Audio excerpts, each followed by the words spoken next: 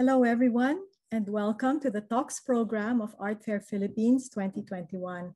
I'm Lisa Periquet, a co-founder of the fair. We close the live events on the Art Fair Philippines 2021 website today with this talk celebrating the national artist Arturo Luz, who passed away recently at the age of 94. Not only were Mr. Luz's works installed pretty much every year in the fair, he was also himself a frequent visitor until ill health overtook him. Before we begin, just a few reminders. We will have a Q&A session at the latter part of the panel discussion. You may type in your questions using the Q&A box at the bottom of your screen, and the moderator will read out your question when appropriate. Art Fair Philippines Talks is presented together with our education partners, the Ateneo Art Gallery, Museum Foundation of the Philippines, and Art Review. It's now my pleasure to pass you on to Boots Herrera of the Ateneo Art Gallery, who will introduce today's speakers and moderate the discussion. Enjoy the talk. Thank you, Lisa, and good evening. The Ateneo Art Gallery is honored to co-present this event that celebrates the life of Arturo Luz, national artist for visual arts who passed away last May 26. He was the last among that generation of post-war modernists who helped define the trajectories of figuration and abstraction in Philippine art. Arturo Luz was a painter, printmaker, and sculptor. He was also noted for his role in, and contributions in the fields of design and art administration, in 1960, he founded the Luz Gallery, which was in operation until 2002 or 2003. Also, Luz was also the founding director of the Metropolitan Museum of Manila, the Design Center of the Philippines, and the now defunct Museum of Philippine Art. He has participated in and helped organize several exhibitions and biennales worldwide, including the Philippine Cultural Exhibition in New York in 1953 Arte de América y España in 1963, the 11th Sao Paulo Biennial in 1971, and the Tokyo International Print Biennial in 1974, and the 8th British International Print Biennale in 1984. Luz was conferred the title of National Artist for Visual Arts in 1997. Tonight, we have invited four individuals who have been among Luz's closest friends. While his achievements as an artist is renowned, renowned, our guest's personal insights will give us a deeper understanding of the master. Each of them knew Luz in different capacities as a close family friend since youth, as a boss and mentor, as a collaborator, and as a dancing partner. So try to figure out which role matches with which guest. And so to introduce our speakers, First, we have um, Ambeth Ocampo, a professor of history in Ateneo de Manila University. Um, and he writes an editorial uh, page um, at the Philippine Daily Inquirer. In 2017, he curated two exhibitions to celebrate Arturo, Luz's 90th birth anniversary. First, Luz at 90 at the Ateneo Art Gallery, which featured works on paper, collages, and small paintings completed before the artist fell ill. And the second was a survey show titled Arturo Luz First Light for the Ayala Museum, also intended to celebrate Luz's 60, 65th year as an artist. Uh, the Ayala Museum exhibit is actually uh, available for viewing uh, in their website. Our next uh, speaker, our guest speaker, is um, Andy Locsin, who joined the LV Locsin Partners in 1990 and was appointed administrator and design consultant to the firm in 1995. He has been responsible for establishing the partnership's policies of governance and serves as an internal critic and architectural design resource. He is deeply involved in the conceptual design process of the firm's uh, defining projects tapped by the partnership as a presenter for the firm's more complex and important work. He is also often at the forefront of the firm's joint design efforts, which allied collaborators, design partners, and consultants. In 2016, Andy was co-curator of the Philippine Pavilion, uh, the country's first ever entry to the Venice Architecture Biennale, featuring the exhibit Muhon, Traces of an Adolescent City.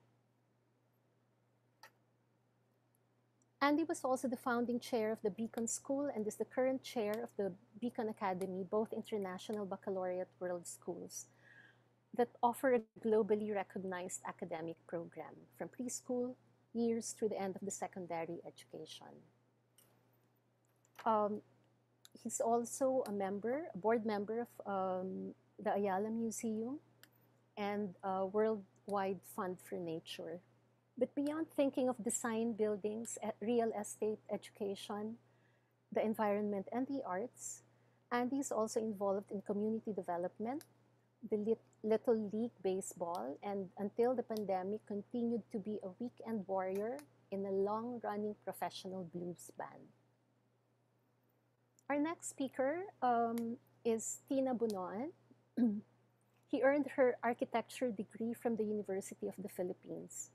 She is also a product designer with, with a comprehensive experience in architecture and interiors, furniture and furnishings, houseware, and jewelry design.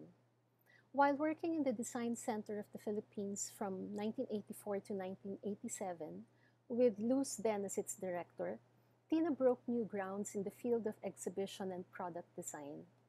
From 1988 to 94, uh, Tina joined Taller Natural, Centro de Diseño in Madrid, Spain, where she cultivated a style that imprinted her modernist virtues in interior and furniture design for international clients. Upon returning to the Philippines, she embarked on architectural journalism as well and created a design magazine for professionals um, that we all know now as Blueprint under Mega Magazine Publications. She was its first editor in chief and served um, from 1999 to 2002. Uh, is also a member of the board of directors of the UP, Co uh, UP College of Architecture Alumni Association. Um, and uh, recently, she made her return to product and furniture design, managing the Cebu-based furniture export company, Swambi Incorporated, and consummating her entry into the design world, uh, Bonoan in recent years explored jewelry design with her cutting-edge collections and floral design for special events with Comfortscape Incorporated. And lastly, we have Malu Gamboa Lindo, an entrepreneur whose career spans 30 years in the food and restaurant industry. She attributes her love for Filipino art almost entirely to Arturo Luz, which began in 1995 when she was working in, on El Circulo. Designers of the restaurant, Ramon Castellanos and architect Tina Bonoan, came up with the torero design concept. Together, they went to the School of Matadors in Madrid to purchase costumes called traje de luces, garments previously worn by matadors. They brought these garments to Mr. Luz, who made 11 beautiful collages, which to this day adorn the walls of El Circulo. So thank you, Malu, um, Tina, Andy, and um, Ambet for joining us. So um, we'll have a brief sharing from each of them and then we'll begin a conversation after. So Ambet, uh, can we go to the next slides first? So um, yes, so these are some um, photographs that were that uh, from the archives of Art Fair Philippines. So Mr. and Mrs. Luz um, attending or visiting the art fair. As Lisa said, they were um, both of them were regular um, visitors. No, he loved uh, staying, sitting uh, and and talking to people, um, friends, and and other artists. So here we see him um, chatting with the visual artist Eduardo Olbes. And then um, the next slide shows um, works on paper and sculptures no, by Mr. Luz, also featured at the art fair. This was in 2017. And then the next slide. Um, so this is to to segue to our, our first um, speaker, so Ambet Ocampo. Yeah, this was uh, taken in the art fair. Uh, we, I think, 2017 when we um, gave a talk on luz. Next slide, please. Yeah, another one. Uh, next slide, please. Yeah, three three slides on Okay. Um, this was the last time that uh, Mr. Luz uh, went out of the house. Uh, he visited the show I curated at the Ayala Museum for his 90th birthday. Uh, came in an ambulance, left in an ambulance, but uh, because it was a survey show, it was very nice that to see Arturo looking at works uh, from way way back. So it's like a reunion of of a father and his children. Uh, this one is the portrait he did of uh, Fernando Zobel, one of his best friends and someone he shared um, a design um, aesthetic with. Uh, next slide, please. Uh, here he is. So the nice thing was that we went to, I pushed him on the wheelchair and we went through every piece in the in the survey show and he explained, you know, remembered uh, why they were why a certain piece was painted um, and here he is this, describing proportion and and why he he liked using black and white you know uh, instead of using a lot of color next slide please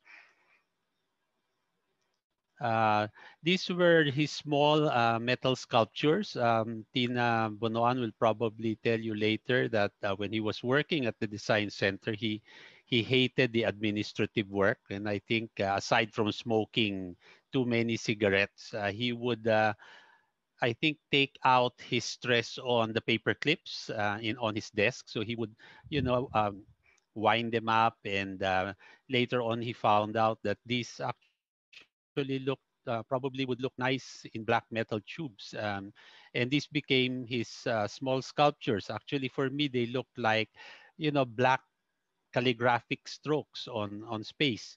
Uh, in jest, he used to call these things the spaghetti series you know, because they look like uh, black spaghetti, uh, something that uh, his wife actually hated eating. Next slide, please. Uh, this one was one of his last works. I was surprised uh, that he he made something that looked like his old work, and I remember he, he's telling me, you know, I can make a I can make a fortune uh, forging my old works. You know? So this is uh, one of his boxes and shells works uh, in a, a, tone that he used to do uh, decades before us. And then these are pictures from his studio. So you can see in the in the background what, what he would use, brushes, uh, used uh, ramen cups, um, this and the studio in a very big table uh, covered with manila paper next slide please Okay, so more more pictures of the studio. Uh, he there were sculptures, there were brushes, there were uh, lots of uh, sharpened pencils. He was very obsessive compulsive about this, and was very proud that most of his materials came from hardware stores or national bookstore. Um, shortly, when I was living in Japan, he told me one day, "Can you go?" Can you go to some shops and buy me some Japanese brushes? You know, and I was surprised that there was a whole universe of um, different types of brushes. And uh, I, I, it's not here in these slides, but I brought this and I filmed him opening the like a boy uh, opening a toy and um, looking looking at all these brushes and telling me how how heightened the Japanese aesthetic was, uh, not just in in form, but also in function. Next slide, please. Uh, we, we like to eat together and long before the pandemic, this is how he would eat. No, it was normally, well, a revised bento style. No, while this was Philippine food, uh, we would sit on a large table. He would sit, well, it was already physical distancing before the pandemic. He would sit on one end and then I would sit on the other. Uh, food was put in little containers. His, his uh, plates were black, um, nice modern uh, cutlery, and no sharing. No? So it's uh, uh, many people always say, you know, he had a Mandarin sensibility, but I realized after living in Japan that uh, his sensibility was more Japanese than than Chinese. Next slide, please. Okay, these are one of his uh, collages. Uh, very nice. What you could see is just, you know, paper. It's just cartolina, black and white. And uh, he'd put things together and make uh, the most stark and the most powerful uh, things on, on pieces of paper. Now, next slide, please. Uh, this was the sculpture show, a survey of his sculpture that I curated for the Ateneo Art Gallery. Uh, he was very happy with it. So we, we uh, uh over the years talking about how he would hang paintings, etc. So uh, when I curated the show, I just did everything that he I heard him do, uh, and he would say that this was his best show ever. So um, it was my first curated show, and uh, I was very happy that he was happy about it. Now, next slide, please. Okay, these are I found this in one of his cabinets. Uh, Luz would usually make many, many uh, titles. You know? So like people would think like, you know, U, Q, uh, New, these are Japanese or Chinese sounding titles, but they're all invented. No? So he would invent things. And then this was this was quite important because in this slip of paper, he would talk about uh, how different um, different artworks like he would do a whole series say on paper call it this one and then it would turn into sculpture sculpture would turn into painting painting would turn into collages uh, so it it was it was like a survey of uh, not only the titles but also the progression of uh, of his work so I, i'm glad i was able to take uh, photographs of this. He also did for me, which I'm not showing here because there are too many fake uh, Arturo Luz paintings uh, going around. He he did uh, the whole list of uh, um, signatures that he did from the very beginning. So you will know at what date uh, he did a certain kind of signature. So that's what I use to to match, you know, and most of the time fakers don't know this. So this is where we usually catch this. One last thing is that when I first met him, Arturo told me, well, boasted that he was the only Philippine artist who could draw a straight line. Uh, in the beginning, of course, I believed everything he said. But in his later years, uh, I would see that he would use a ruler. And I asked him, I thought you're the only artist who can draw a, a straight line. And then he, he laughed and said, you know, I, earned, I learned early in life that the best way to draw a straight line is to use a ruler. So uh, I mean, under that very almost suplados uh, in, uh, exterior, he was a very funny, uh, witty man, and uh, you see that in his works, and you see that in his personality. Thank you. Thank you, Ambet. So, um, yeah, Andy, yes. Yeah, hi, uh, Hi, everyone. Um, uh, unlike Ambet today, I guess uh, uh, I was asked actually be the art fair folks uh, to sort of walk you a little bit through, so, through some, I guess, personal uh, memories. Uh, so I do not have a whole lot of slides to show you. They may be only two. Um, but what I do have, I guess, is a narrative from memory of, of what I remember.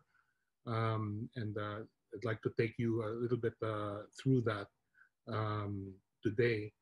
Um, in, in my memory, there, there really wasn't a time uh, where I was not aware of uh, Arturo Luz. Um, you know, by the time sort of uh, I met him, um, he had already at that point um, uh, met my dad in the 50s, likely at the Philippine Art Gallery, and already had a fast friendship with, uh, with uh, Fernando Zobel, uh, and my dad were very, very close.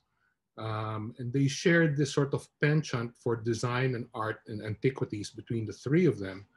Um, and at, at, that time, of course, um, that was a really rich soup of conversations, collaborations, cross pollinations, and friendships between artists and uh, the creatives. Uh, the, the architects were talking to artists, visual artists, who were talking to dancers, to musicians, uh, to, to uh, people involved in, in writing and literature, history, archaeology.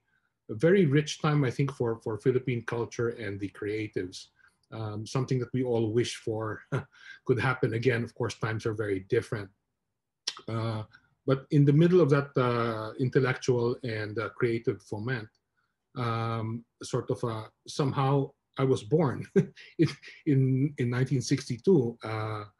Uh, uh, and by that time, actually, um, uh, my, my dad and Arturo had already sort of a shared space. Uh, um, some people know that sort of uh, wherever the Locsin offices were, the architectural offices, was also the same location as the, the Luz Gallery from 1960 onward. You know, there were three locations. Uh, um, first in the Ramona apartments in Ermita, uh, starting in about 1960 and then through the greater part of their career on number 448 uh, EDSA uh, for the longest time. Um, and then eventually sort of uh, towards the end uh, in 2002, 2003 when the Luz Gallery closed. Um, uh, it was at the Locsin building uh, on Ayala Avenue, which was also the location of my dad's office at the time of his passing in 1994. So there wasn't a time really that I didn't know Arturo and my first impressions of him. Uh, you can see sort of in that picture, uh, this was sort of a, uh, uh in, in the pool at our house. Um, that in the forefront and there's uh, Tita Tessie with Paula, her eldest child, and Arturo in the, in the back. my first impression of Tito Arturo in my sort of thinking memory was sort of this rather elegant man with this buzz cut, sort of a spiky hair, very clean, very ayos, uh, very together, and, and, you know a lovely shape to sort of his uh, his hair. Um, and knowing him, I guess over time was sort of this organic unfolding uh, through through my years. I was always aware that he was there and he was he was in the house so so often uh, we remember very, very clearly sort of these birthday and pool parties with, with Paula, his kids, Paula, Ella, and Luisa, uh, later Claudia when she, when she uh, was born. And coming home every afternoon from, from grade school uh, and passing by the EDSA office uh, to see if my dad was ready to go home. And of course, he was never ready. He was always in the drafting room. And uh, so we would run down and sort of play around in the Luz Gallery, believe it or not. Uh, how they allowed us to sort of run around that gallery with all the sort of fragile things was a sort of a uh, rather remarkable. And what I remember of those years, of course, was the ever-present pack of Winstons. It was like uh, uh, smoked incessantly. Uh, and he always had sort of a soft drink ready for us and, and, and coffee he and Tita Tessie were actually incredibly generous um, uh, uncles and aunts. Um, eventually, as, as we grew up, uh, can I have the next slide, please? Um, in, in later years, um, he and the, the Luzes spent a lot of time with us actually in Puerto Galera. And that's a picture basically of Paolo in the forefront with, with Tita Tessie and uh, Arturo. And you see him in his hand, hidden in his hand, is that pack of Winstons. Uh, in his right hand, sort of the cigarette sticking out. Uh, very familiar image uh, that sticks in our, in our minds. Uh, and others here about his penchant for bush jackets. Uh, and, and you can see sort of what he's doing in a bush jacket at the beach. this, I think, was a moment on his way, on their way home uh, to Manila from Puerto Galera. Um, this is what we remember of him. And eventually, uh, when I ended up at, uh, at grad school, uh, the architecture school, um, I gained this tremendous appreciation as his personality kind of unfolded and what he was all about to me um, was this tremendous appreciation for why he and and my father, why Lindy, uh, completely clicked. Uh, there were there were a shared sort of a, a approach to design and, and art and architecture um, between the two of them, there was a total trust and a complete faith uh, in each other's sort of taste and eye. He talked about taste a lot, uh, very old school, uh, rather, rather than a very academic approach to his art. Uh, he always talked about taste and restraint. Um, this, this approach of a sort of reductive distillation of the essence of form um, was something that he commonly shared with that. It was a, a, a, I think imprinted somehow in their DNA, um, how to abstract the essence of something and, and express it uh, in their art, in their creativity. Uh, capturing the essence of form and abstraction, uh, the life of the line. They used to talk about the life of the line, uh, the issues of tension and balance, uh, and just unerring proportion. Um, you know, if you closed your eyes and you didn't know who people were talking about uh, in, in, those circles, you know, whether you were talking about Arturo or Dad, it was somehow interchangeable. Um, uh, my, my father always said that Arturo was an architect's artist. Um, and eventually, sort of professionally, uh, in the 90s, uh, we ended up uh, having a, a, discussion with Arturo about uh, the mural that he we asked him to, to uh, execute in the lobby of Tower 1. Um, uh, rather remarkable uh, piece that he, that he placed sort of in the mezzanine level of Tower 1. And so th this sort of knowledge of him unfolded sort of organically over time. Um, I think there's a, a peculiar story and uh, how things come sort of full circle. Um, you know, in 2002, 2003, uh, it came to a point where um, Arturo and Tessie were were uh, thinking about shutting down the Luz Gallery. Uh, they were getting a bit tired and uh, he wanted to move on to other things.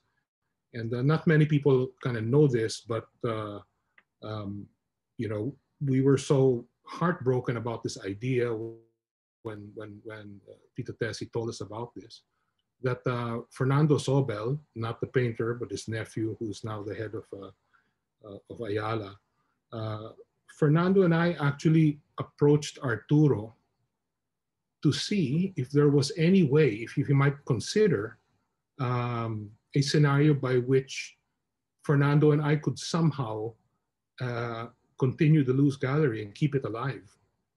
Um, it was sort of a, a, a, rather painful thought for both of us. I mean, I think it's an indication of how much we cared uh, about Arturo as a person, his, his genius as an artist, uh, his aesthetic, and his ethics above all.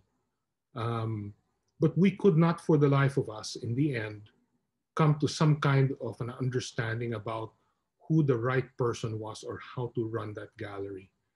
At the end of the day, we both realized that actually Arturo was a singularity uh, in his genius and his ethics. Um, and at the end of the day, we had to be very honest with ourselves that there was nobody like Arturo, and continuing something that tried to be him was an impossibility. He was that kind of a singular person. And at the end of the day, sort of a genius has its time. And uh, uh, uh, we, we, we finally, sort of together with Arturo, agreed that um, it was time to sort of shut it down, that we couldn't do it.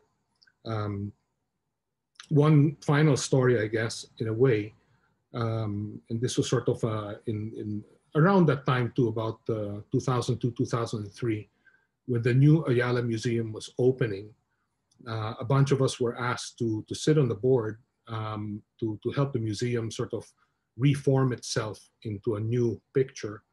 And uh, both Tito Arturo and I were on that board, uh, the initial board of advisors of the museum. And um, while the museum was trying to figure out what kind of an institution it should turn itself to after this long history uh, of, of existing, um, Arturo made a statement at one of those board meetings that was so, it stays with me to this day. Um, and I think is, is sort of emblematic of the kind of person he was. Um, he, he said uh, in sort of jumble of trying to, uh, this honest conversation about what the museum should become. He said something extremely simple. And again, reductive, down to the essence, down absolutely straight down the line, taking out all the side issues. His, he put a question on the table. He said, the museum will have to ask itself what it wants to be.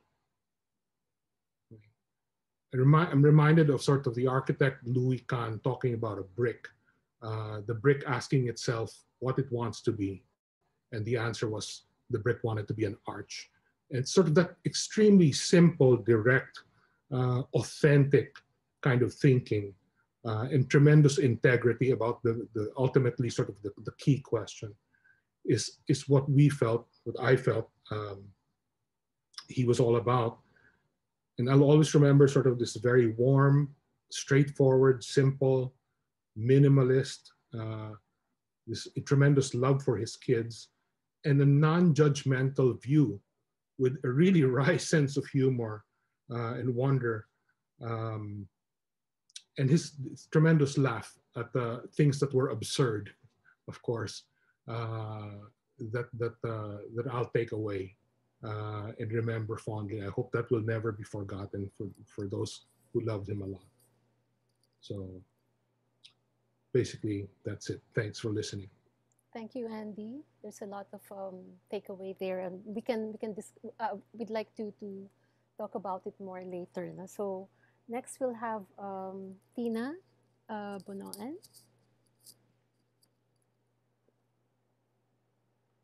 Uh, good, good evening. Yes. Um, I worked with Mr. Luz in the design center. Uh, let me just read what design is to Mr. Luz. The objective of design is to identify human needs and then to, uh, I'm sorry, and then to fill those needs with the right products. To begin with, products must be efficient, original, and competitive. It must be well made, safe, and durable. It should be simple to make and use. It should be easy to look at, touch, and feel.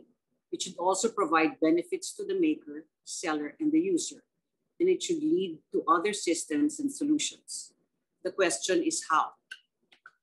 Uh, this is very typical Mr. Luz, and it's, it's very, it's, it's a long narrative, but this is very typical of Mr. Luz because he analyzes, he thinks, and he comes up with the simplest solution. And that is how his design has always been um, based on. Can I have the next slide, please?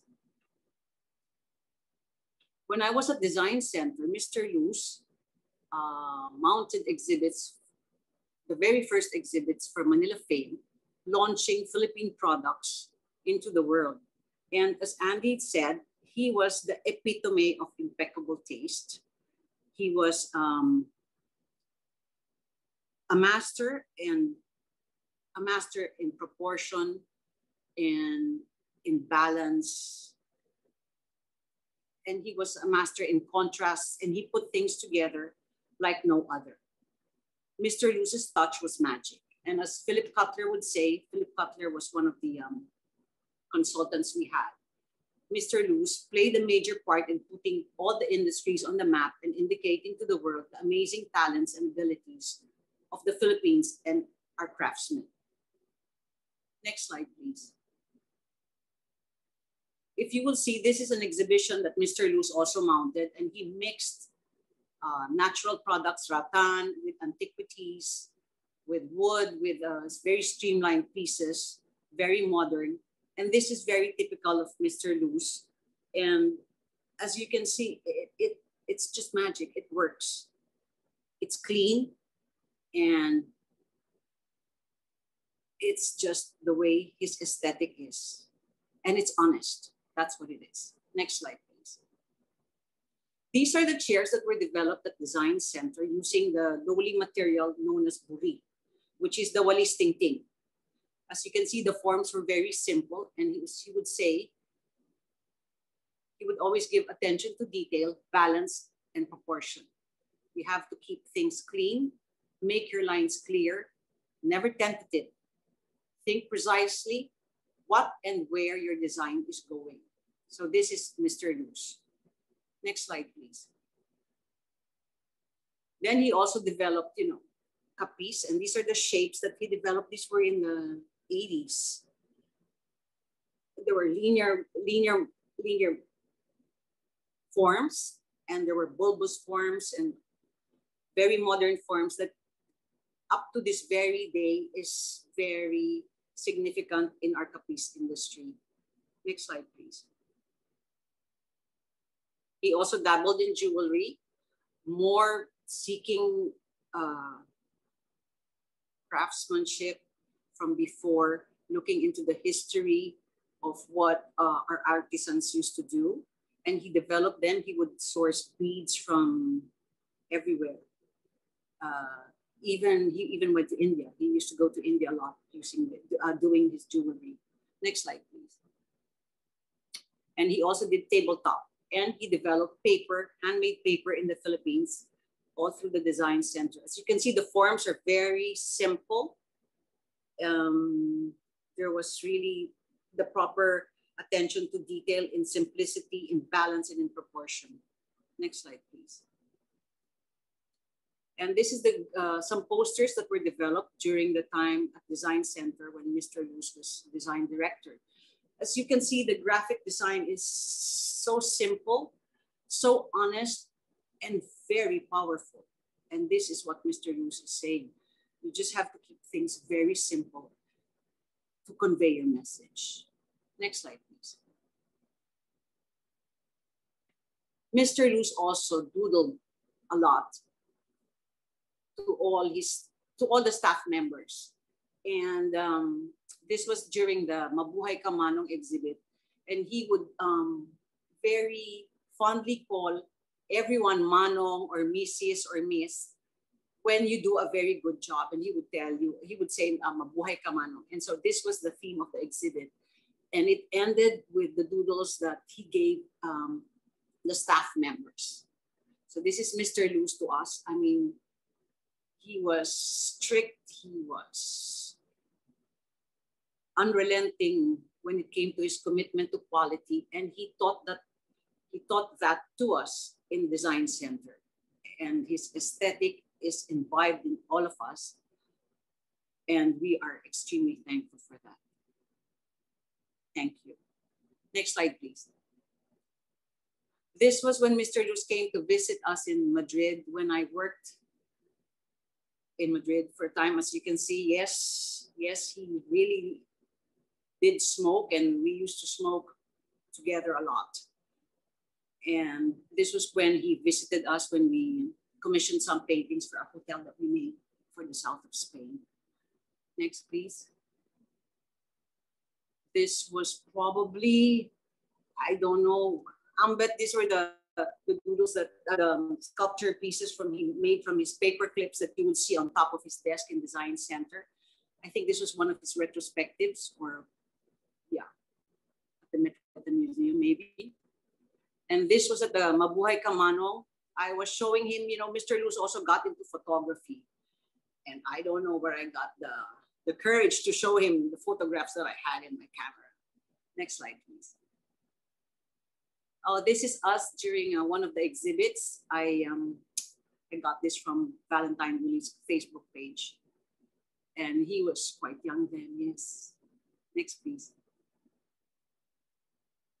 This is a dress that was designed by Jojie Lloren, inspired by the art of Mr. Luz. This was, I think, I'm not sure, 2012. I'm not 2014. 2014. yes. Okay. And he came up with this beautiful, stunning dress inspired by Mr. Luz's um, uh, cities of the past. Next slide, please. This is us with Mrs. Luz and Malu during that exhibit. Um, those were the days when, when Mr. Luz was just going out and, and hanging out with us. Unbelievable. Thank you, Mr. Luz. Malu? Yeah. Thank you, Tina. Thank you. Oops. So yes, we'll have um, Malu next. Okay. Good evening, everyone.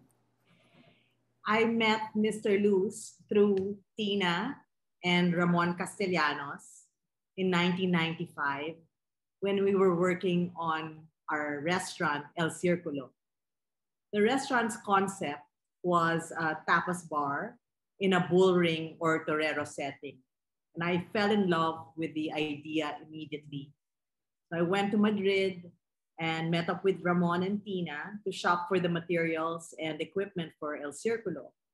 We bought matador hats in Plaza del Sol, and our friend Iyo Pantaleon made them into um, lamps that we still use today. We bought mantones de Manila in the rastros, made them into curtains. And we bought these traje de luces or matador costumes from the matador school in Madrid and brought them to Mr. Luz to make them into collages. Of course, you can imagine his face when Tina and Ramon brought these blood-stained costumes to him with leathers and, and told him that we wanted these artwork to be the highlight or the centerpiece of the restaurant. You can imagine his face and it's like, what? What do you want me to do? You know? But he he came through and how. Look at these beautiful works. He made 11 collages for us. He hung them himself with his assistant, Teeny. Um, next slide, please. Oh, the, this was at the National Museum. You know, the first slide was the first time this collection was exhibited at the Vargas Museum in 2007. We exhibited them again just in 2019 at the National Museum. So these works have been exhibited twice already. So these 11 collages, Mr. Luz and his assistant Tini hung by hung them one by one. And I think they, you know, they had an unspoken language with each other. They, I think they were each other's BFFs. Mr. Luz would just stand, Tini would would hang and say, okay, baba mo sa kanan, up, up, konti pa, akyat mo sa kaliwa. That's it, you know? And it was perfect. Mr. Luz also chose the artwork for Tsukiji, which again, he hung himself with Tini. They were numbered prints by Toko Shinoda, a Japanese artist born in 1913, who I found out just passed away this March 2021 at the age of 107. Next slide, please. So this is El Circulo, designed by Tina Bonoan and Ramon Castellanos, with collages, Torero collages by Arturo Luz. So the chance to work with a national artist, Mr. Luz in particular, is one of my life's highlights. I met him at age 27. And to say that I'm a big fan of his is an understatement. And to be considered as his friend is truly a great privilege. I treasure all the times we spent together. We traveled to Cebu, to Carcar to visit Ramon and Tina in their studio. I would visit him in Urdaneta and in Valle Verde to see his latest works. We even would go to Cats Disco in New World Hotel and go ballroom dancing. We would have our own DIs and after work, I would meet him. He would be early. He'd start early around seven. I would meet him around nine and we just dance all night. It was just too cool to dance with Mr. Luz. Um, on Father's Day, this past 2019, my brother Jay prepared a roast turkey for him. And I was so happy to get a video message sent by his daughter, Luisa. Also, when Luisa showed him the invitations to the National Museum exhibit, he remembered clearly that we did go to Madrid and we had to buy the materials and and these were the materials that he used for the collages. You know, everything about Mr. Luz was precise. The right use of words, the straightness of his lines, his work ethic. Mr. Luz was so focused, he worked day in and day out, seven days a week.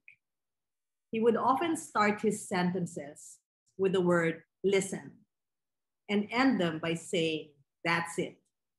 Everything was brought down to its simplest and most precise terms. Of course, syempre, I would hang on to his every word, be it talking about his travels or his latest food discovery. I was, I'm just his biggest fan. This red burlap behind me has its own story to tell. One day I went to his house in Urdaneta with two of my prettiest and coolest friends, Kitty Jacinto and JT Season. He was actually reluctant to sell this piece as he was saying it was so difficult to make this red. But somehow, I guess we were able to charm him that day. And so we were able to bring one home. And this is it, my most precious possession.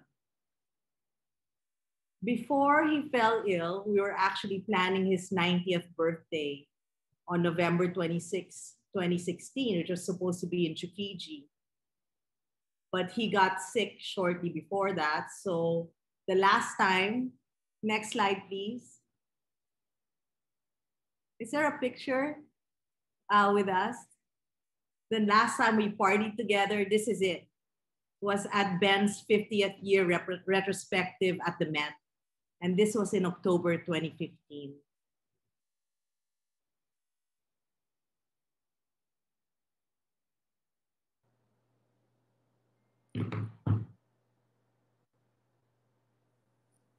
Okay. So, um, yeah, thank you. Thank you, Malu, um, Tina, Ambeth, and Andy for your for sharing your stories. Um,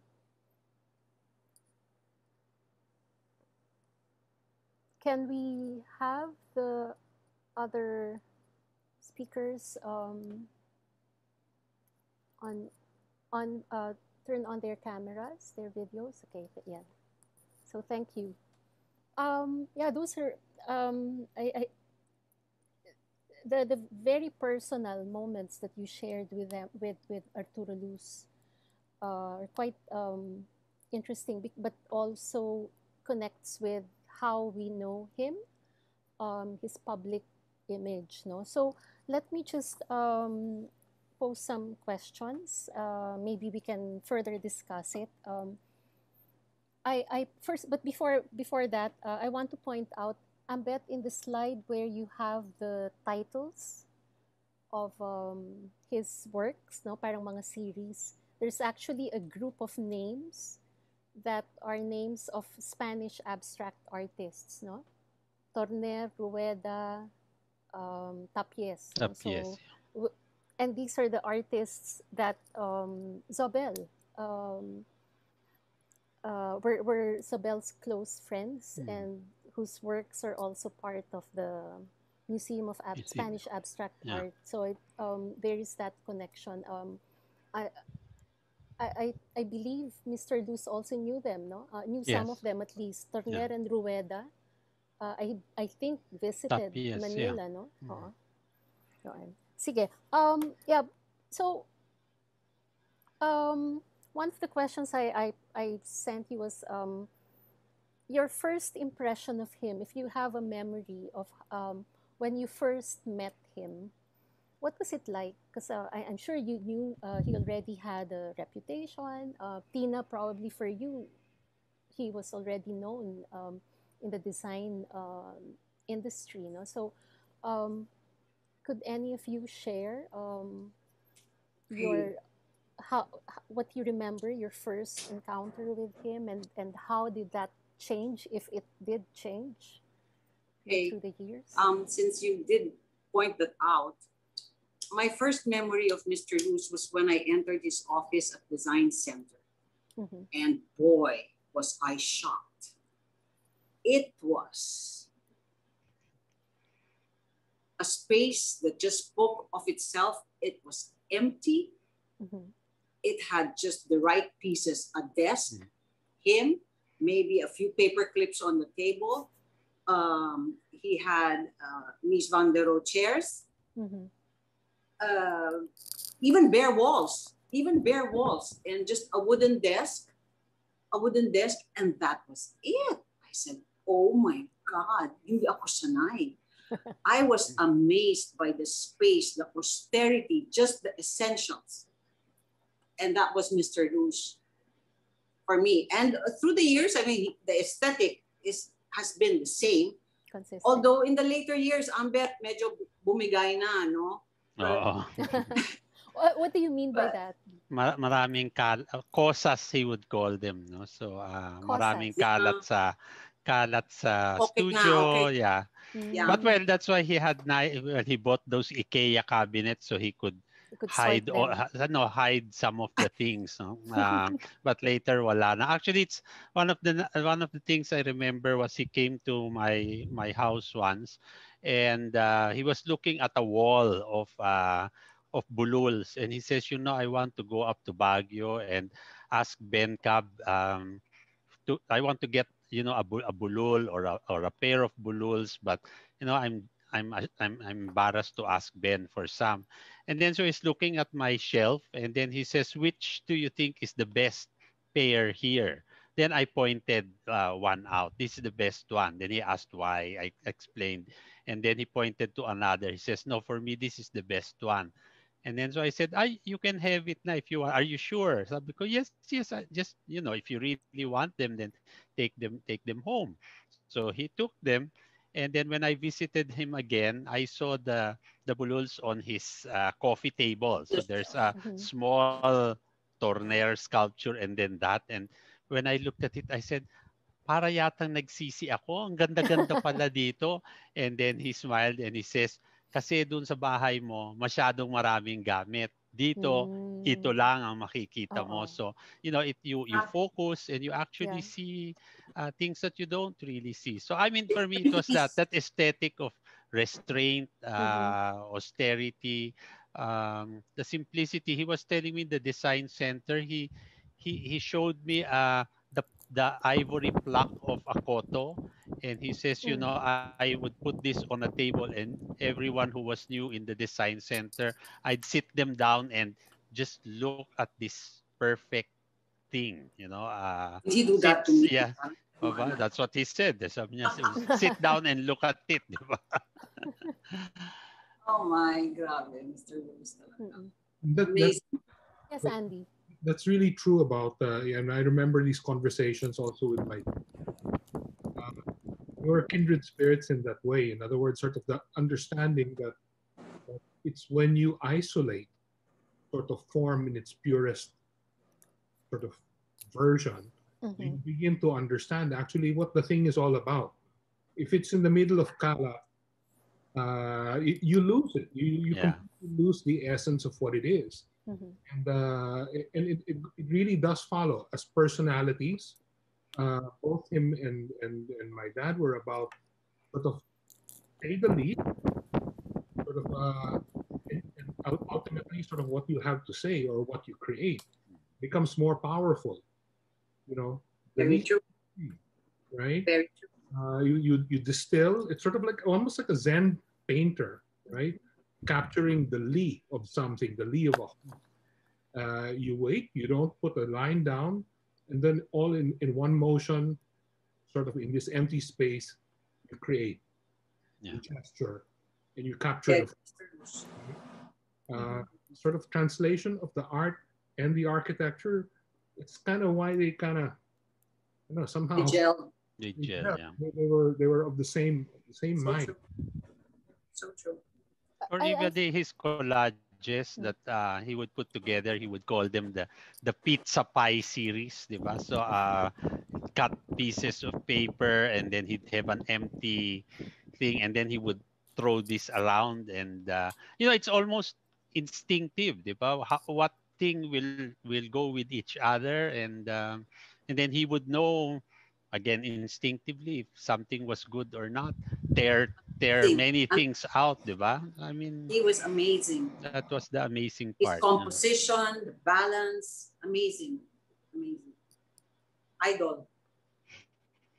Yeah. Um, Malu, would you like to share your, if you remember your first um, It was in Circulo, encounter? Yeah. and um, you know, we the place was still a mess, dust everywhere. and we were about, about to open. It was the hanging day. Mhm. Can you imagine? He just shows up with a truck with all of these works, 11 collages, just no staff. I mean, just Teeny and him, and, and said, okay, let's bring them down. And he knew exactly where to put each piece. You know, each each piece has a number in the back, and he knew where to place them. And it, I, I just, you know, I was with a rock star, with a god, and because of that, you know, um, I've fallen in love with Filipino art and artists. It's it's like my greatest happiness is being with them, you know. It's such a they're they're just so cool. They love what they do. They they're so happy to share their work and just being with them is really my happiest time. And I, it was Mr. Luz who started my love for Filipino art and artists, really. And you know, um, my very first money earned from Circulo, um, I was able to. I decided on buying um, a painting by Mr. Luz because he would always tell us, make us cuento about his trips and uh, about the temples and the imaginary landscape. So, Mr. Calma had a gallery a block away on Benavides Mhm. and he had an exhibit i think around 1997 and so i remember it cost 275000 pesos it's a red imaginary landscape and that was my first money from from circulo and uh, you know it's that's the rest is history so now i'm a super fan of filipino art And you've been um, supporting them, no? You, through ACC. yes through ACC And and through other um, and tanghalan different. Filipino. Yes, it's true. Um, yeah, Andy. Um, I, do you remember um any?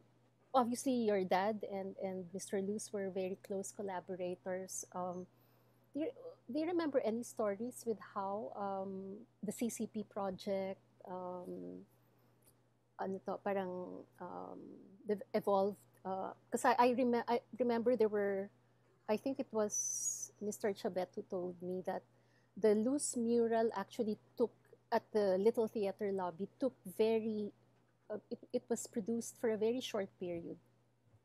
It's a very quick execution of Mr. by Mr. Luz. So um, any stories about um, that particular project? I don't recall um, exactly that specific thing. No, Yep. Of course, you were very young. No? I, I was uh, the the goofy I- thing. I was reminded by by Ambeth, um, uh, looking at that uh, portrait of uh, of Zobel that you showed Mhm.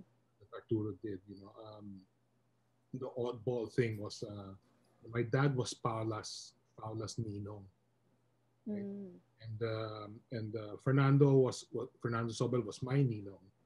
Right? Okay. But of course, nobody could be Zobel's kids Ninong because he didn't have kids, and somehow I keep on thinking of of, of the Zobel portrait as somehow Arturo being Zobel's Ninong. you know, sort of painting that portrait and somehow sort of uh, giving birth to something. But but but the discussion between those those those three Mm. wa- was so close in terms of a sort of a collaborative things and and uh, you know with regards to the ccp or or the buildings that say my dad did for ayala in which arturo was involved or the ccp where where where things were commissioned so many of these things were done lickety split um, there were sort of a uh, shall we say um, they were not pieces that seemed to be sort of thought about and pondered time over time. They were they were almost like uh, uh, reactions Mhm. to the spaces that were given, right? And they were instinctive. Yeah. They were not academic. Uh, that generation somehow, um, I mean, I think what you see creatively were sort of uh, sort of uh, bursts of, of inspiration. There, there were there were genuine sort of uh, reactions Mhm. uh, out of uh, out of what was in there uh, in the same way, as opposed to sort of some things that, that were, were overly studied and overly mannered. They were sort of the most direct expressions of what was in those people as creatives. Um, doesn't surprise me that that mural uh, in, the, in, the, in the basement in the uh, the lobby of the little theater uh, would have been executed really really quickly. That mm-hmm. graphic sort of style. Mm-hmm. Um, I know that uh, a, a, a, small version of that uh, is in the lobby actually of our offices. Yeah.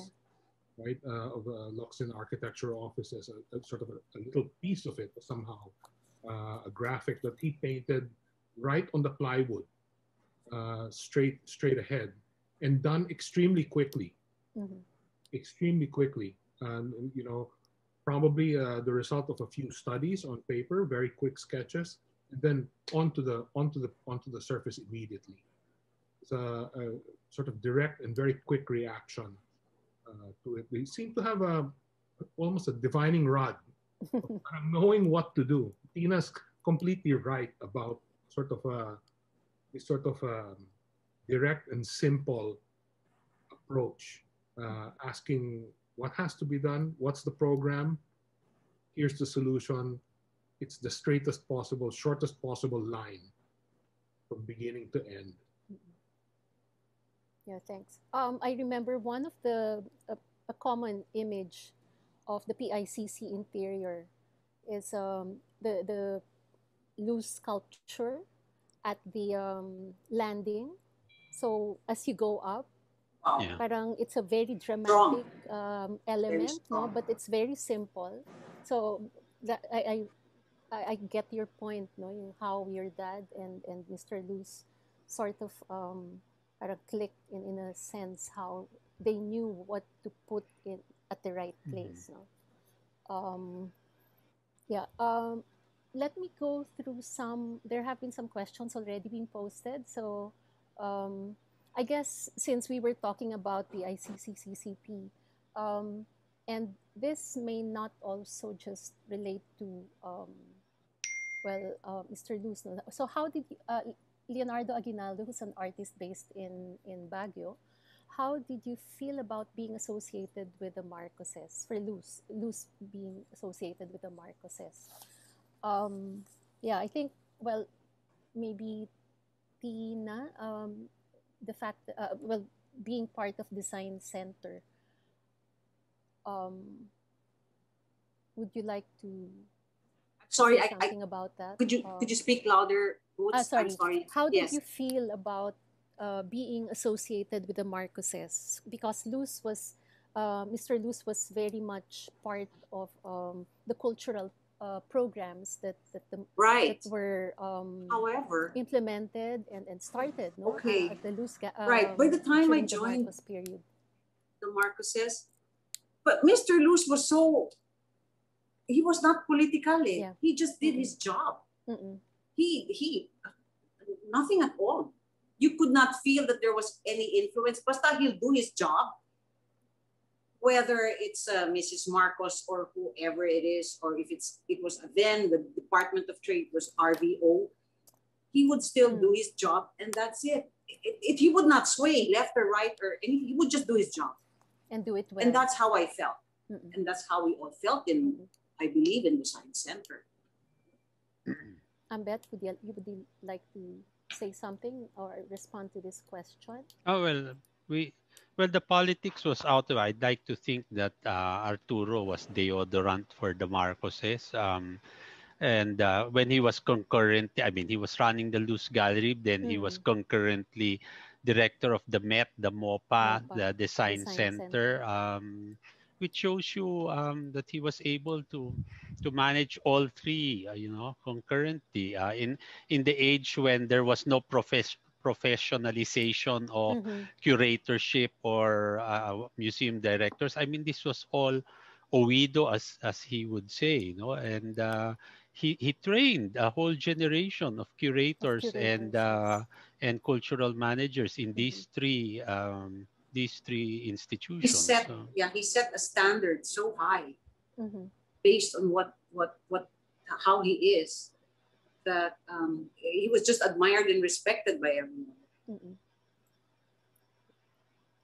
Thank you for that. Um, Monette Victor, um, wait, let me just look for the other questions. Parang may nawalang question na. Red seemed to be a distinct signature color. Any reason why this particular color was what he favored? Would you say red is um, a color that he he favored? Um, Well, it was a strong red color, di ba? Yeah, but Mhm. normally it's black and mm, black and white, Black, which white, aren't gray. really which mm, aren't really colors. No? So um, I think if you, if uh, I mean, just a, just an attempt to that, uh, you know, Uh-uh. if, uh, again drawing the the parallel to, to uh, some of my father's work, that I I think that was kind of a shared palette. Uh, This Mm. whole business sort of earth tones, right? yeah, The, this idea of uh, rusts and sort of this mm, yeah. colors, uh, red behind Malu, um, black, grays. Um, they were all materials and sort of palettes that somehow came out of the earth in some Mm. way. mhm, Um, very rare would you find sort of a, you know, sky blue or whatever. mm, They, were, they were sort of these earthly, uh, earthly things. And uh-uh. even Ochres. archi- architecture side of things and on the art side of things, somehow, um, I don't know, somehow it was a of the place, of the time, of the of the location. Um, Actually, earth colors, but he he hated green. Mm. Diba? And you show him anything green, I hate green. you know? Bakit kaya? Anong pinakita mo? Pero di ba nung, nung bumigay nga rin, even in the end, na he would have uh, Bumigay. pink, pink, yellow. Um, oh, meron siyang a few works a I've few, seen yeah. pink, Yeah, yellow. but Pero yung ye- yellow ochre, no? Ochre, That is yeah, a very yellow ochre, strong, yeah. ano. Yeah, which, uh, Andy, as I remember, when we worked with you for your dad's retrospective at CCP, there was a particular rust color that, that we used, no? And, and that was one of, um, that was what he favored also. Okay, uh, I think that question also answers the second question from Leonardo Aguinaldo about the colors. Um, okay. Mm. Ah, so I bet you already ano pala, replied to um, to some. Yeah, to some of them. Okay.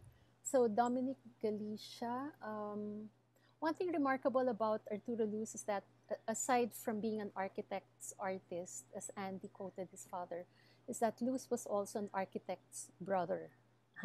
yes, that's right. We Yeah. forget that. That's no? true. His brother That's true. Alfredo Luz was like Lindy Locsin, also a master of reductive distillation. It astonishes one to think that there were there was such a time of creative ferment in which our country produced work of such elegant Amazing. and profa- profound distillation. So the question is, aside from Leandro Locsin, did Arturo Luz also collaborate with other architects? With his brother Alfredo, for example? Actually, Bill sure. Luz answered if you go Ah, uh, below. okay. Yeah. Ah, okay, there, there. I'll say. Sorry.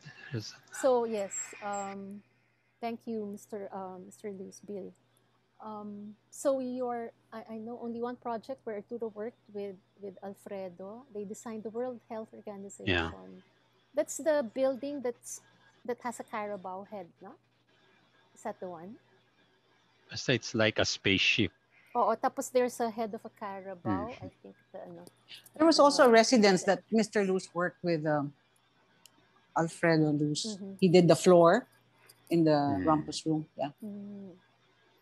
Or the U, or the. UP Chapel, di ba? Uh, The UP did- Chapel. He, he did Yeah. the floor, yeah.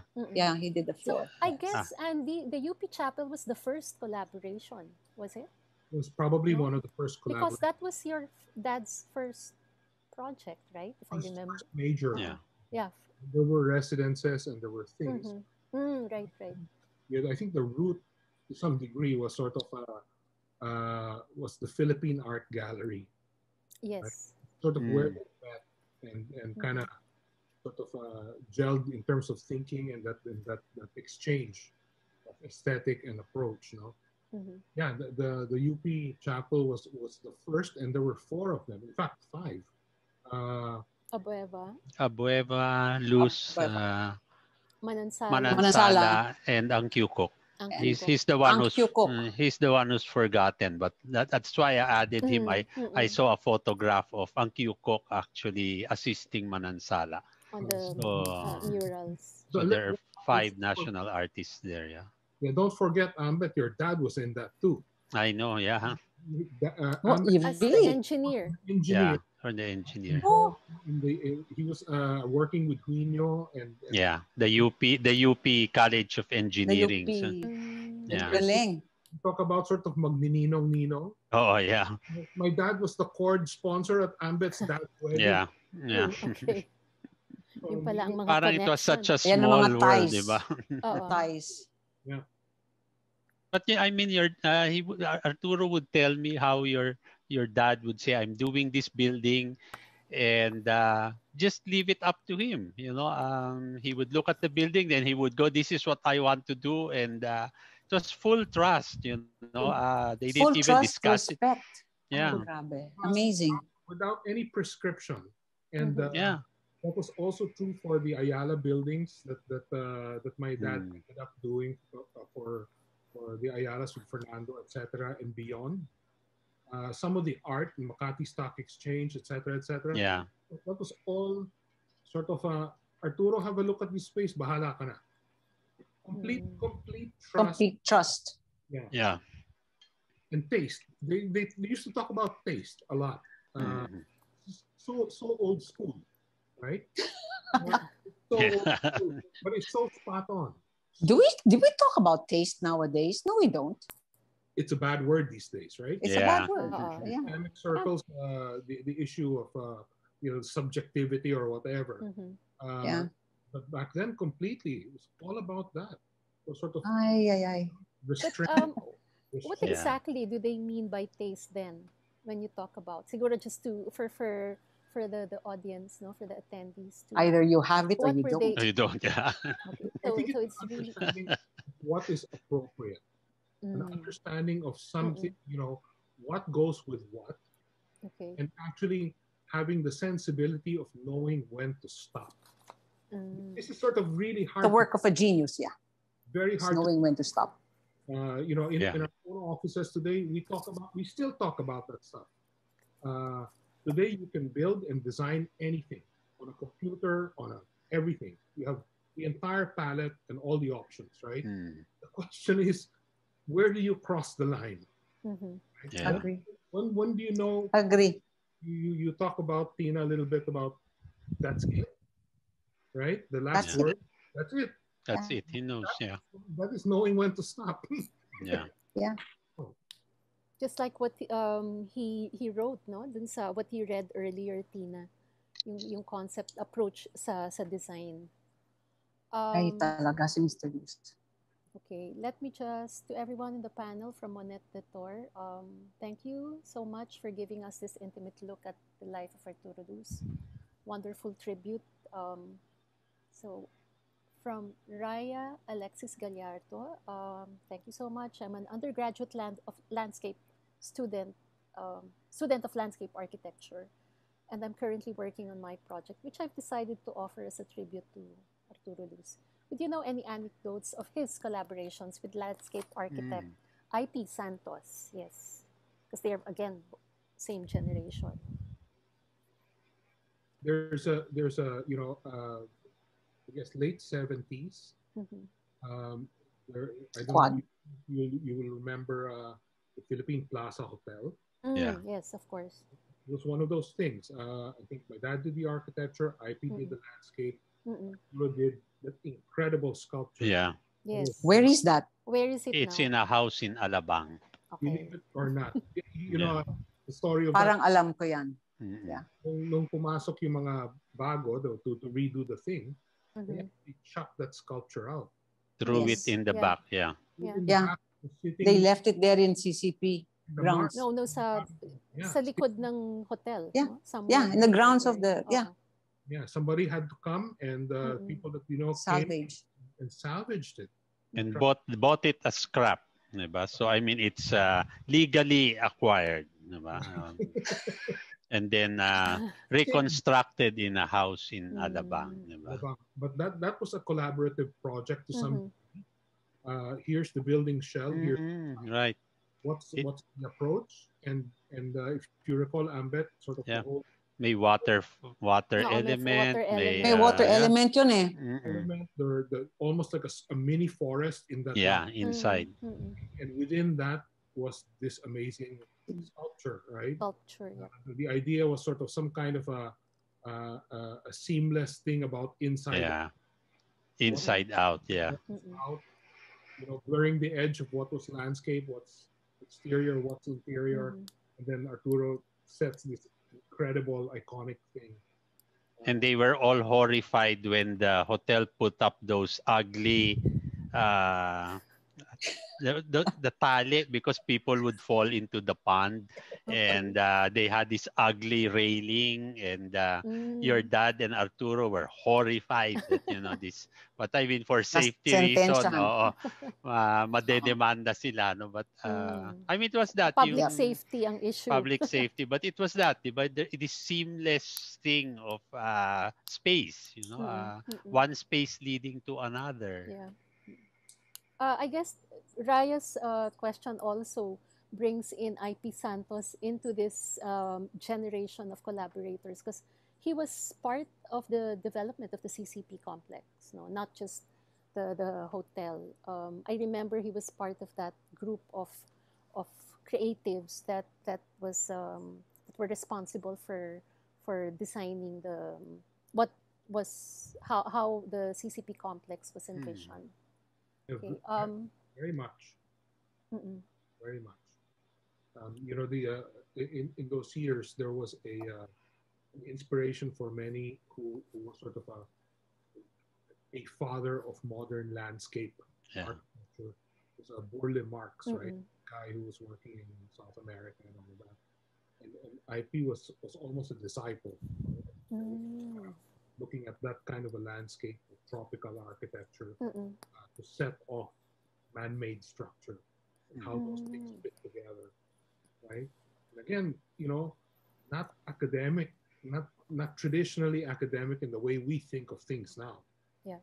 Uh, very intuitive, very sort of uh, reactionary, uh, very authentic. Kasi hindi, hindi filtered eh. Oo. yeah Uh, it's so powerful because it's that, that kind of a thing. Okay. Uh, a comment from Tina Cosculuela, who's the niece of Arturo. Um, Andy Locsin some, said something that truly captured Tito Arturo's persona, intuitive again, and not academic. So Mm. yes, thank you. Iton de Guzman, um, thanks for sharing your stories on Mr. Luz. Um, will there be future exhibits for his unreleased works? I'm curious and interested to see his photography, as, as Tina mentioned earlier, that he was also Wow. fond of photography. Um, Ambet, is there is there like um well the last photography thing he did was for Isa uh, Lorenzo, Lorenzo. uh, which uh, and you know like he would take he, he was very proud of that that um, you know Jaime Sobel would take pictures had elaborate studio and uh, Arturo just had a table and an open bulb diba? Uh, which he would play correct around correct but, he uh, would dangle he would dangle it the- but correct, but it's correct, so amazing, correct. you know, when I would look at those uh, still lifes, those Still boxes and lifes. shells, you know what it reminds me of? Surbaran.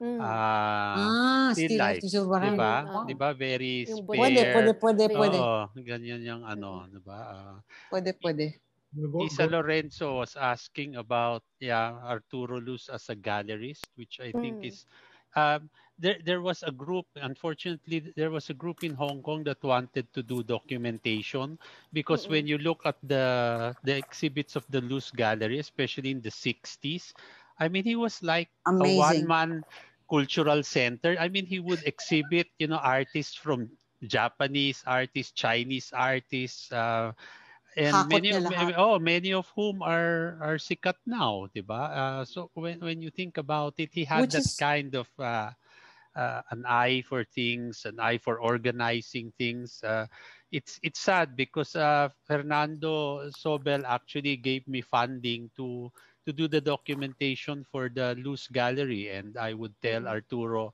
just allow me and Ani Sartu to go through the filing cabinet. We won't take anything. We'll scan everything. And ay, wala, it's all basura. It's uh, so.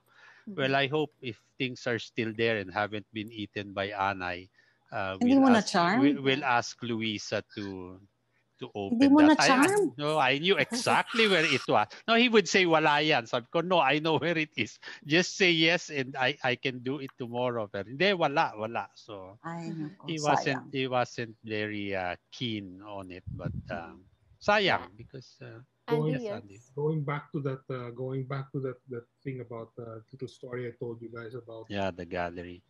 gallery. You know, Fernando and I were were, were dying Mm-mm. Thousand deaths at the idea of the, the Luz gallery evaporating, right? The irony wasn't lost on us that it was a Fernando and a Leandro trying to trying to get you know make sure that somehow the Luz thing just Somehow it Ah. stays, the legacy. yeah but but in the end i mean when you when you when you somehow sort of analyze it the life of the gallery even the choice of who to Of exhibit artists. Go to yep. exhibit, yeah. Mm-mm. was, was was so Arturo. It was his Mm. eye, it was his sensibility. It was sort of, you know, who was doing stuff that had this integrity. Who, who didn't sell out? Who, you know, parang this Yeah. whole, and, and and you know, Fernando and I kind of looked at ourselves, each other, and said, "Oh, if, if we did this thing, who's gonna make that call, right? Yeah. Only one guy can make that Yeah. call. No, nobody on earth, nobody Yeah. in that country can do that. True.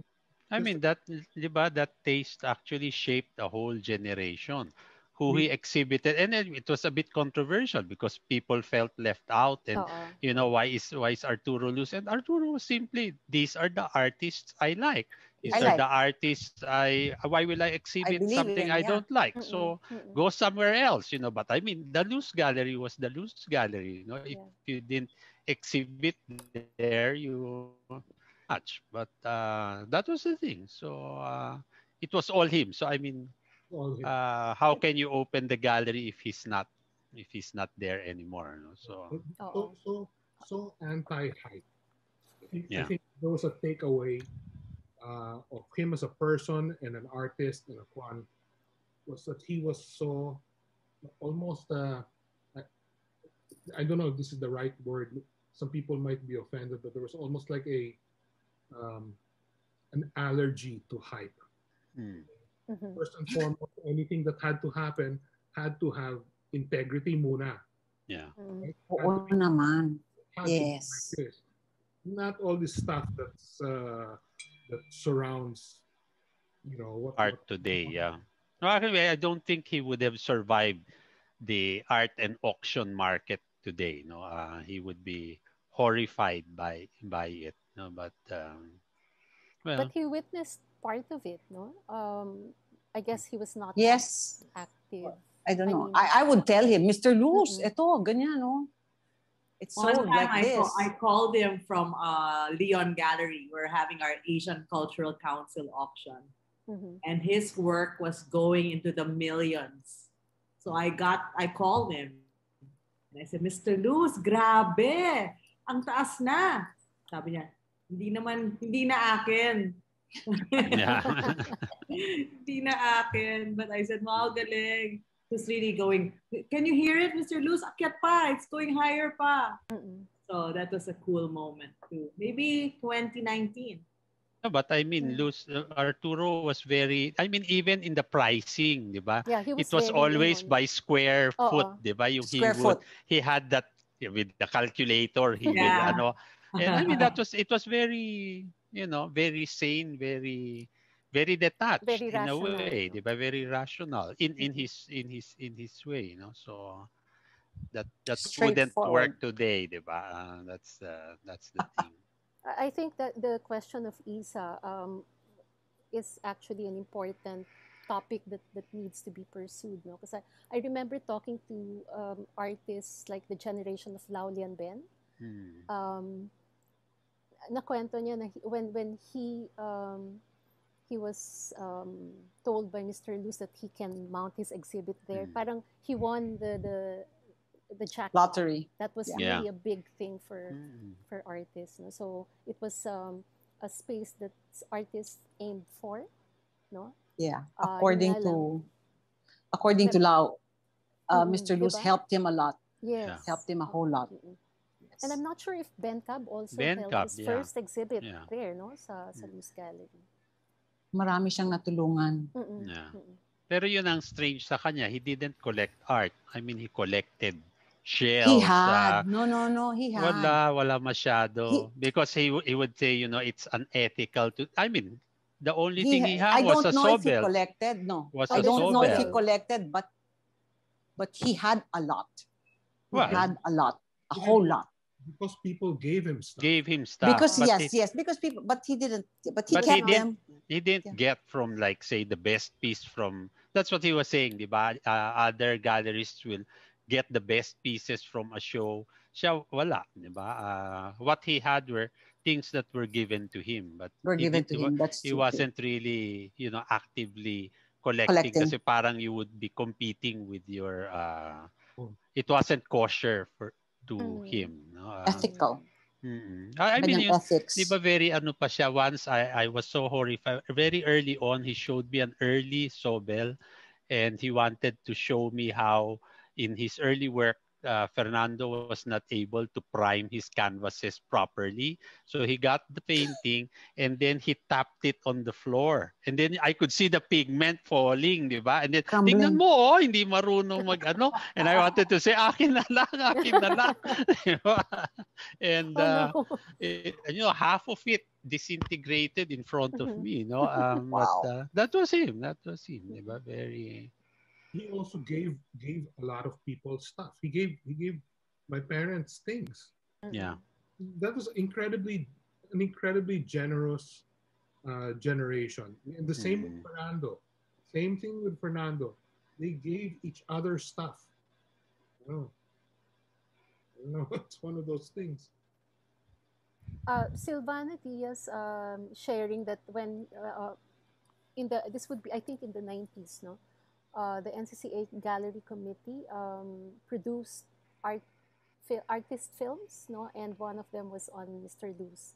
Yeah, I remember that. Uh, maybe that's that's something that could be screened, no, uh, one of these days, Silvana, if we can have access to to the the video. they uh, NCCA has the CD it, There's it was CD. produced by Black, Black Soup, Soup, no? so it's just te, you know Tessie and Arturo in black Mm. Being interviewed no um, yeah, I remember that. and Very then they're stark. contradicting each other diba? that was that was the funny Mhm. part Okay. Um, another, well, it's a comment uh, from Josephine Cruz. Um, proud to have received a positive note from Luz about the project I wrote about when I was starting at Design Center. So his note to me uh, said, almost perfect, there is nothing to correct. Um, so have siguro getting that um, comment no na almost perfect that's already a big thing coming Yeah. from from Mr. Luz. Okay. Um yeah, let me just go through some Okay, did Arturo Luz collect Santos as well? He did. Yes, he did, Yep. yeah. So he, he um, collected folk folk ones yeah mhm. That that was actually also again commonality with the Zobel.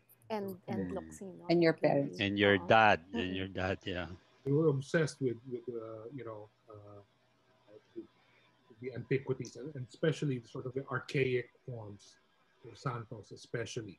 yes Um, Andy, I remember um, going through the archives of Ateneo Art Gallery. We actually have the list of um, grading sheets by uh, from Mr. Zobel, from Fernando Zobel, and your Mm. parents attended some of his um, lec- um, classes. Ah, the art lectures, art, yeah. art lectures. Mhm. Graded, ah, may grade yun.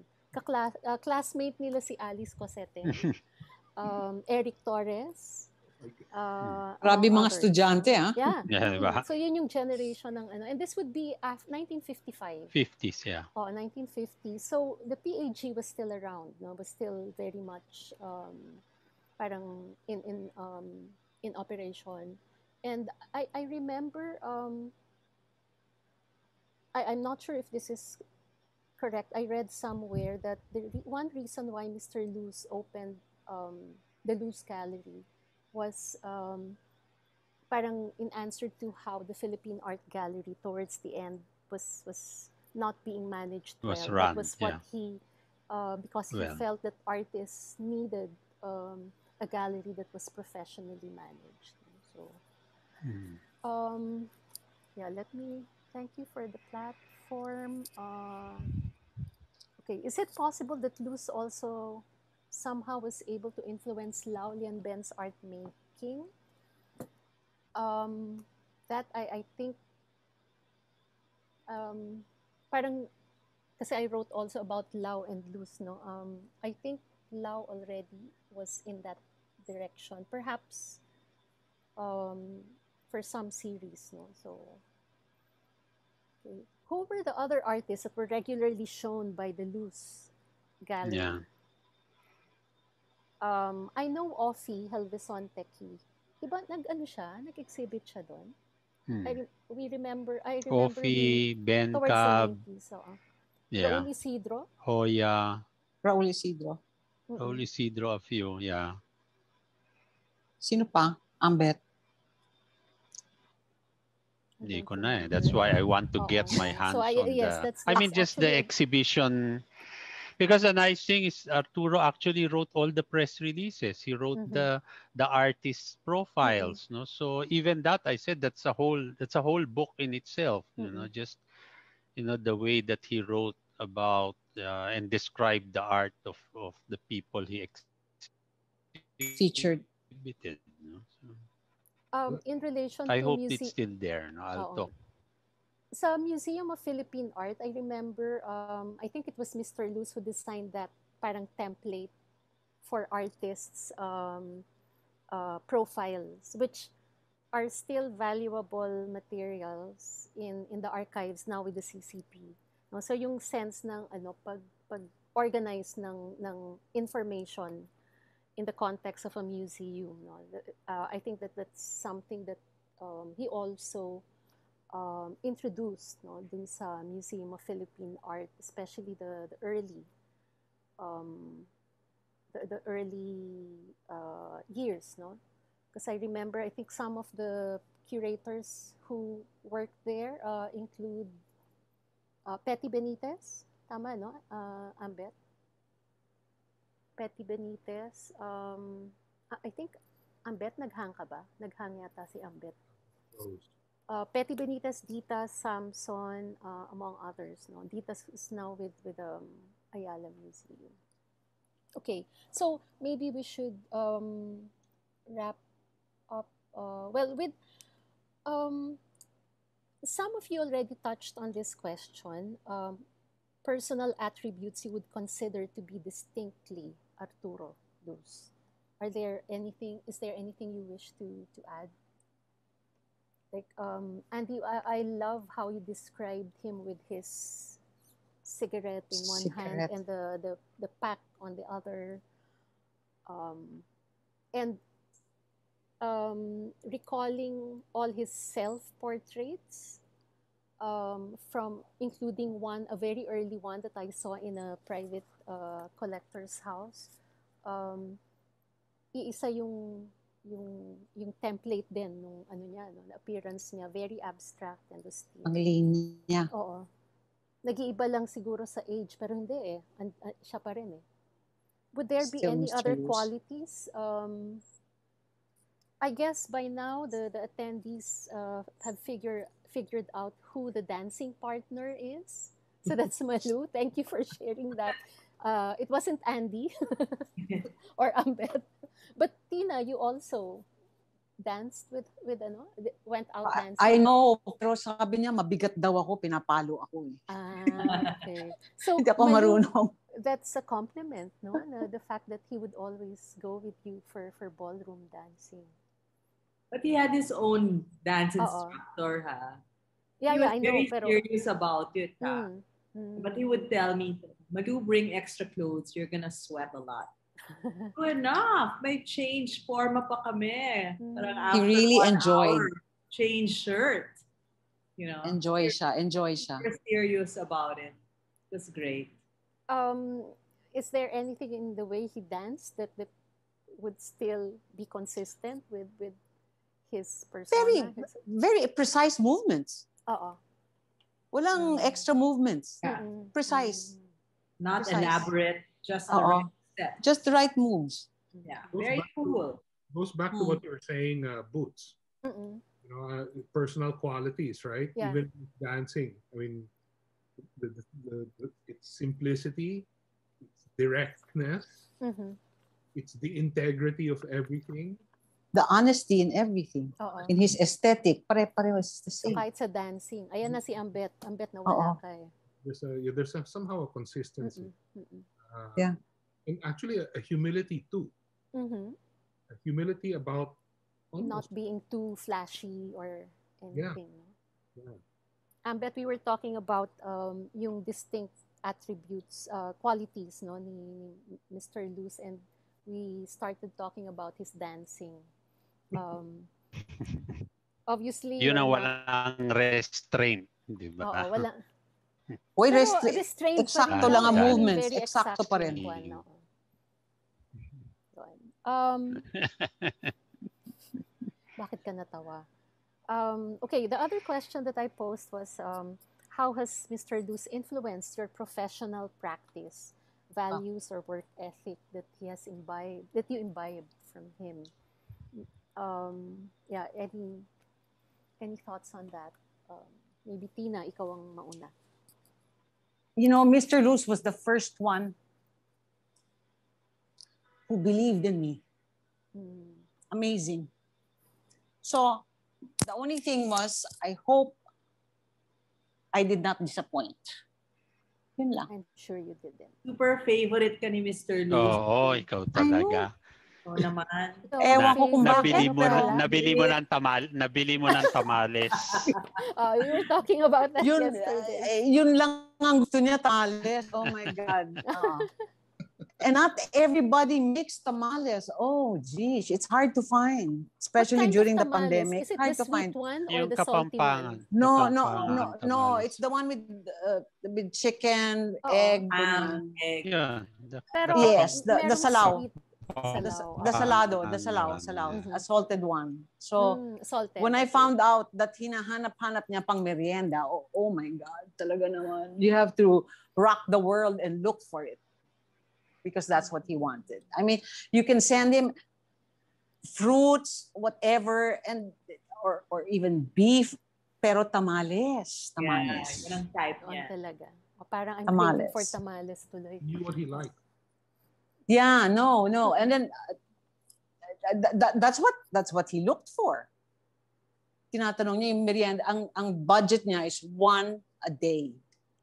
Yeah. So And I said, would give, okay. him, give him like a whole ano, batch of... Wag naman, wag, wag naman every day kasi it's not also good. So kind of mga tatlo, ganyan, Mm, para space nila and then they can freeze it naman eh.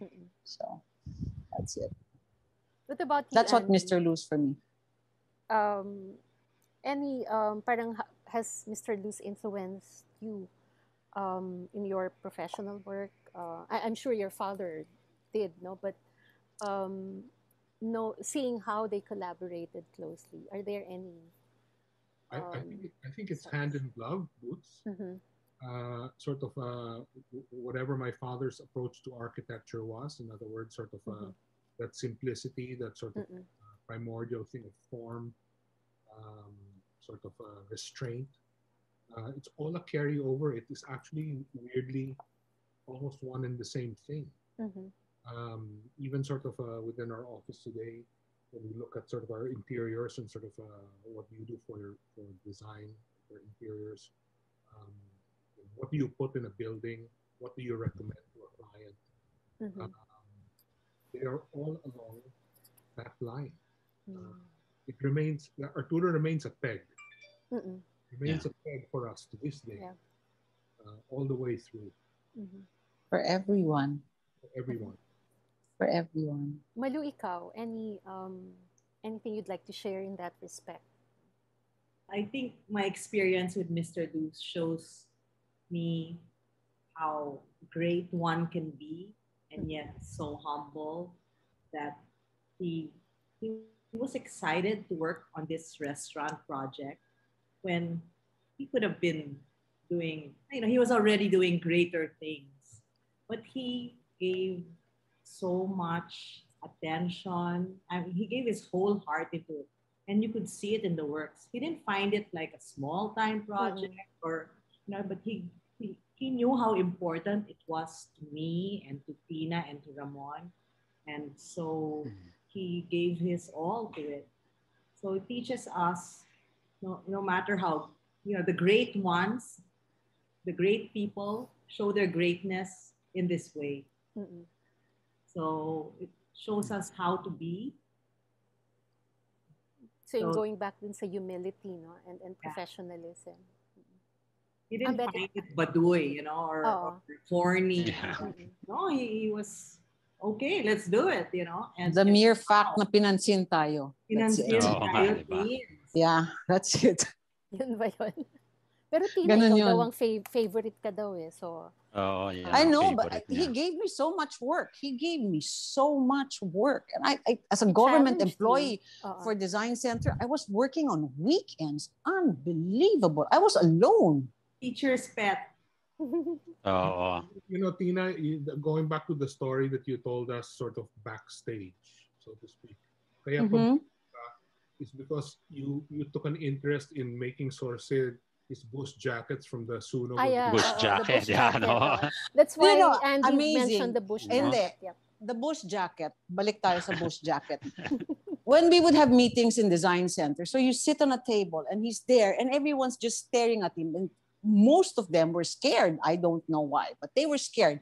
So you just stare and you stare and then you see, oops, ang bush jacket may butas dito, may butas dyan. Uh-huh. From cigarette burns. Amazing.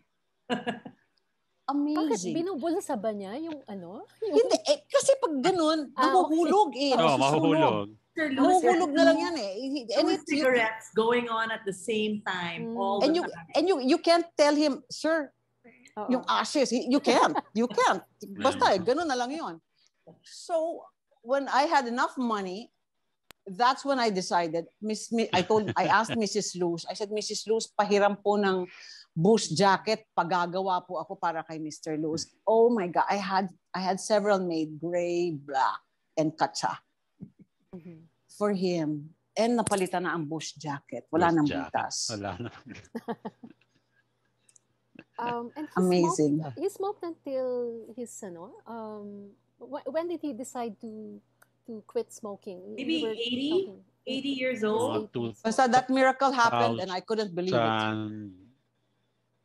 No? I to, couldn't believe. Yeah, 80. I couldn't believe he stopped smoking. Uh, basta And one day sa ko, oh, ba't one day, sigarilyo? cold turkey. Galing. Hindi lang nagsigarilyo. Cold turkey. Okay. Um, o, oh, time check can, na. O, oh, time check na nga. Oo. So, siguro just uh, uh, to close. Overtime na tayo. Oo. Hindi, hanggang se... Oo nga, no? Mm. Um, so, just to close, um, oh, oh, what are your last, seven, ano, last, um, uh, what would you consider to be his most important contribution to Philippine art and culture? Siguro just one, one, give give one thing that you could cite. Or, marami. Marami. Alam ko marami. Pero pumili Mahirap naman isa, yan. apat naman kayo eh. Ganun eh. I'm just I'm gonna read the list. Okay. So, yeah, sige, sige. Andy. So you have a list. Oh yeah, no no big. You made a list but but but I, I had four. I had mm-hmm. four. Um, number one, I think uh, somehow the introduction and the belief, the power of abstraction, to be read on many levels. Mm-hmm. Right? Great art being having the the unique ability to be perceived and read on many levels by many different people in many different ways. Somehow, um, I think he was a main exponent of that, of the art movement. Second, I think, is the value of restraint. Mm. Can't say it anymore. Yeah. yeah. Because I mean, as a society, I think we are very colorful and sort of over the top people. Uh, he absolutely showed how there was not only value, there was power, mm-hmm. restraint, and length in the story. Uh, things Very become true. Time, things become timeless when you restrain Yeah. yourself. Uh, number three is that sort of uh, the idea of having trust in the quality, integrity, and the universality of art itself. Trusting the, the essence of, of what he was doing and sticking to it. Not kind of, you know, not completely selling out or whatever, sticking to the idea, Mm. insisting on it, and it endures because of that, right? Uh, without the hype. And last, the fourth, I think is a really, really uh, authentically a deep and wide influence, uh, not only on visual and representative art, but on general design sensibility in the film. Mm. I think when you look at sort of what's being produced today by by the designers out there, there's almost something you will always be able to sort of point out um, something that was somehow derived or pulled away uh, from what Arturo did during his lifetime, not just from the art but from his design. Mm. Totally agree. Totally Yeah. agree. Totally agree. And I, I do believe also he opened our eyes, at least in the industry level, for for the industry of design. He opened our eyes to to to to g- appreciating what we have by bringing uh, bringing the foreigners in and telling us Mm. telling us that we are good and we are great Mm-mm. and that we have to develop what we have Mm. and that's what he did and and and and, and now our exports sana take off properly despite china i mean Mm. you know there's Yeah. value in design And, Saka walang, uh, walang insecurity, no? Wala Oo. Walang basta ginawa niya Wala. yun na yun Exactly. Exactly. And I guess Tapang yung, eh. yung Bra- role brave. ng design center, no? Um, how he started, uh, his vision for design center. Um, amazing so ahead of his time no, yes in- yes yes yes Um, supporting our local, um, the, the local industry. Kasi naalala ko noon parang um, meron sila, merong off government office, yung NACIDA ba yun? National Oo. Cottage that, that industry. promotes cottage, Cottage ano, diba? industry. Pero design cen- center really um, raised it the, took the off bar, it took no? off it Oo. yeah it raised the bar Yeah. that's true that's Mm-mm. true So I hope, um, which I think, hopefully it still continues now. No? it, it's sure. continuing it's Oo. continuing Okay, so any last words from from the other, uh, from Malu, Ambet, and Tina before we we close? Di- this? Andy put it very well. Oo, di ba? yun So, na. i know Sige, so thank you And- very Yeah. much. Uh, yes, yes, Tina. salamat to mr luz Yes. yeah. Thank you, Mr. Luz. Yung ano, you mentioned kanina yung yung show, yung exhib, yung tribute niyo sa kanya. Um, ano yung title? Mabuhay ka Manong. mabuhay ka manong oo by Akala design ko siya si center Manong. Siya ba si Well, Manong? manong din siya. Manong, manong din siya. But, But, he, he's he manong, uses but he, it yes, he uses it to, to, to, compliment, ano. to compliment manong or Mrs. or galing, Miss. no? Yeah. So yun, mabuhay ka Manong. Para kay To manong. everyone. Para kay Manong. So Para thank you, Andy, uh, Malu, Tina, and Ambet. Um, maybe for now, can we request uh, Tricky, um, Lisa, and Dindin um, to turn on their videos for um, a screenshot. Uh, this is the last live. Um, Ayan. Trickie. ayan. Lisa, she's Sorry, asleep. um, marami Wake pang, up, may- please. marami pang questions na hindi na na Ah. Ayun. only comments. Thank you very much, guys. You thank you so much. It was wonderful to end the art fair with you guys. And what a wonderful talk. Thank you, thank you, thank you. Thank you, Unfortunately, Mr. it Luz, is who was such a presence in the art fair. Yeah. Thank you, guys. Um, it's been a real privilege for us in the audience to see all your personal perspectives on Mr. Luz.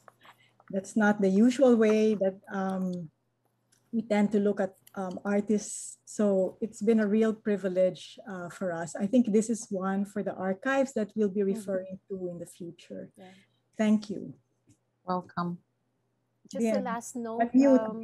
Lisa Oo. Lorenzo said that the Urdaneta Village logo was designed by Mr. Luz. Ayan. Wow. Yung mga, I'm sure marami pang ganyan na ano, hindi, Mhm. um, kailangan i-research. So are we good um, for the screenshot before Lisa gives his her final ano. Okay, yes, let's have a screenshot for documentation. Um, Thank you. Cecile? Yes, okay. Ready? Three, two, one. One more. Three, two, one. Thank you. Thank you. For the Okay. Thank you very Thank much. you. Thank you. Thank much. you. Maraming Air salamat. Yeah, bye-bye. Thank you. For the Maraming salamat. attendees, um, just in case you don't didn't notice, we do have some Arturo Luz behind our in our background. Um, Malu, Tina, and Andy have actual works behind their background. Mine is a virtual background from the Ateneo Art Gallery collection. So thank you from Ateneo Art Gallery for letting us participate, allowing us to participate in this in this conversation. So Lisa? Yes, thank you very much to today's speakers. Uh, this ends our um, the live events on the Art Fair website. Thank you so much to our audience for participating. Um, thank you, Boots, and your team from Ateneo Art Gallery for assisting us with this session. As usual, we'd like to thank our education partners. Uh, those are um, the Ateneo Art Gallery, Museum Foundation of the Philippines, and Art Review. Yeah, the website is still available, of course, but the live talks will be transferred to our YouTube channel, Art Fair Philippines. So please visit it. And um, uh, most of the talks, about 90% of them, have been uploaded um, to that site. So thank you, everyone. It's been a real um, wonderful ending to the art fair run this year. And thank you for making it happen. Goodbye. Thank you, everyone.